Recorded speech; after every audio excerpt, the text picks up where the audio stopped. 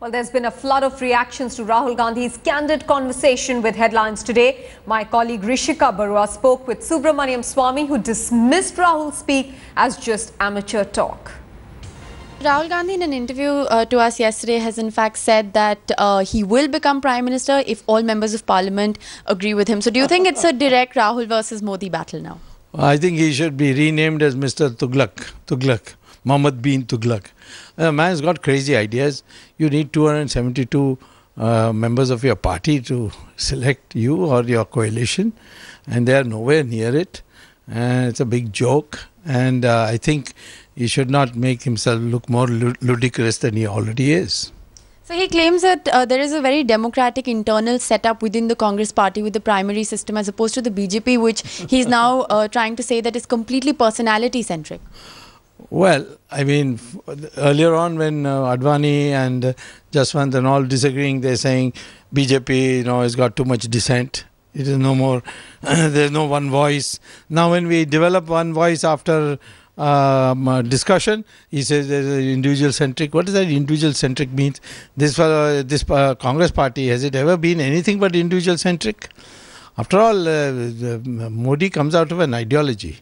These people come out of only a family. What is their uh, uh, ideological? They were earlier on stooges of the Soviet Union. Now they're stooges of America. I mean, they're doing somersaults every day. Uh, I don't think that they, they have any right to talk about these things.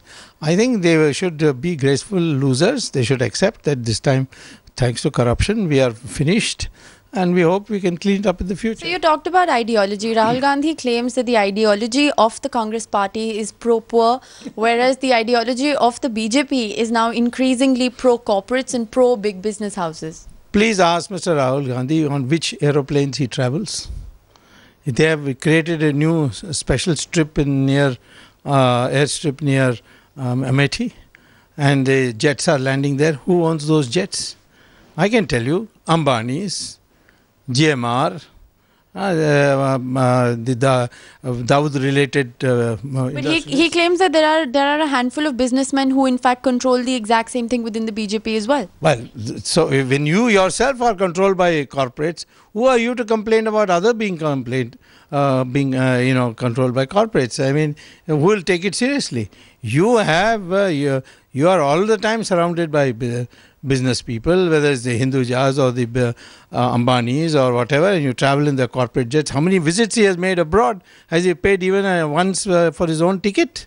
Uh, he, he, takes his entourage with him, his girlfriends with him. What about that?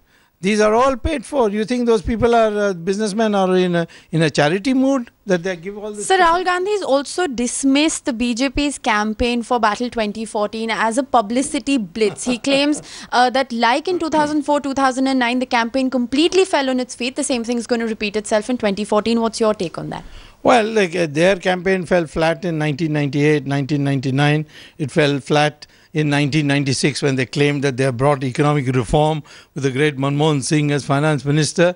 What happened in 1989 when Mr. Rajiv Gandhi was thoroughly defeated? What happened in uh, uh, in 1977 when they were thrashed fully? Indira Gandhi herself lost her own election.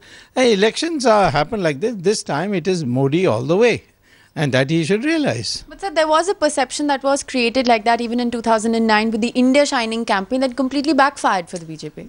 In uh, in, in uh, 2009, it, no, uh, there was no India Shining campaign. It was only in 2004. Sorry, 2004. 2004 that's right. That, I was not a member of the BJP, so I'm not in a position to give what were the reasons. But I did feel that time that the workers uh, were not so enthusiastic in working because the ideological factor was thoroughly missing. This time, the ideological factor is not missing.